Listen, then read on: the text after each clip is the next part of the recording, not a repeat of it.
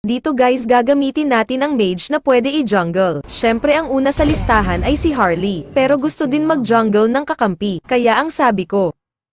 Buti naman nag-adjust siya muntik pa ako mamute. Pero ang pangit ng hero namin lahat kami ay malalambot. Hindi tulad ng nasa kalaban magaganda ang hero nila.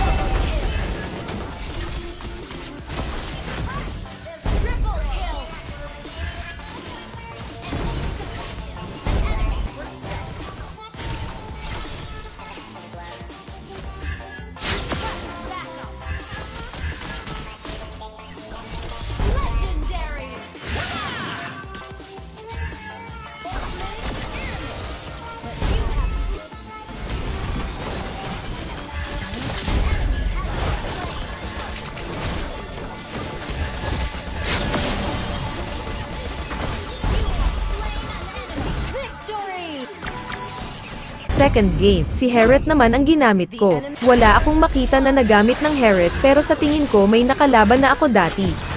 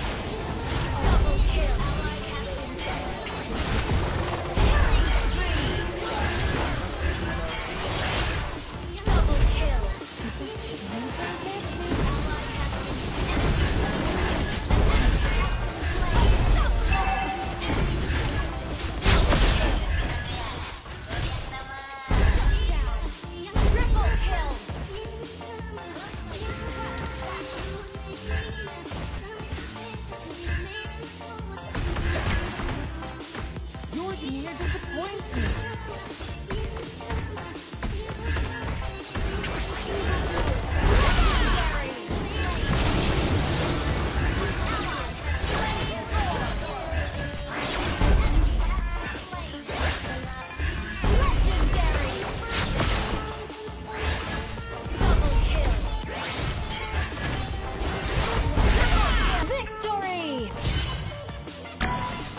Third game, si Cyclops ang ginamit ko. Sa hindi nakakaalam siya ang dating main hero ko.